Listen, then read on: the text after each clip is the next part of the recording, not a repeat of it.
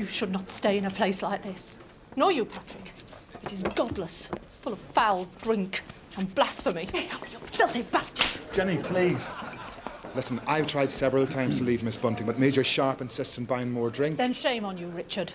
I know that Widow Bevan has lodgings. You must move there, both of you, tonight. Sally, did you come to tell me something?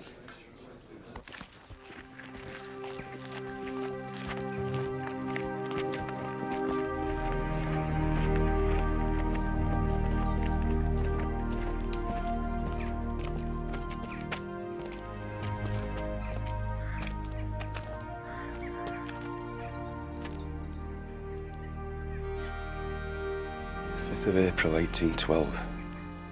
Forlorn Hope went through the breach at Badajoz. We walked on nothing but the dead.